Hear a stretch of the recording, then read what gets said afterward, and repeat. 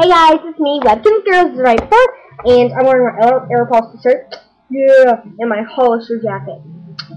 Yeah. Uh, yeah, I'm really bored. I just got back from school, and I'm not feeling that well, but sort of am. I went to bed really early last night. I've not been feeling good. Don't know what I have, but it's like, I think I'm getting really bad cold again. I've been coughing really bad. But it's starting to stop right now.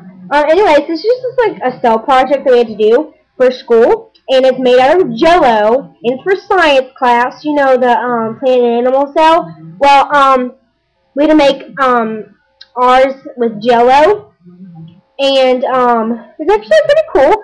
I'm going to show you what everyone is. So I'm going to tell you which each thing I put in. Um, the ribosomes or sprinkles.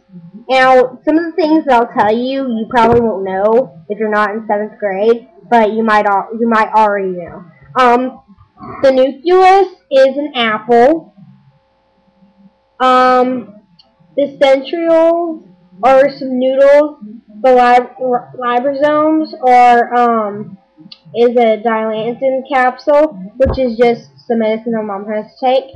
Um, the mitochondria are uh, some M&Ms. Um, the Golgi bodies are lettuce and the gummy worms or ERs. Um, so yeah, that's just like mainly what I had to do for science, and it's due tomorrow morning, Friday morning. So yeah, so I really hope I get a good grade. Can't really see through it; it's like all weird. But yeah. Uh, anyways, thank you all for watching, and remember, please subscribe, comment. See you guys later. Bye.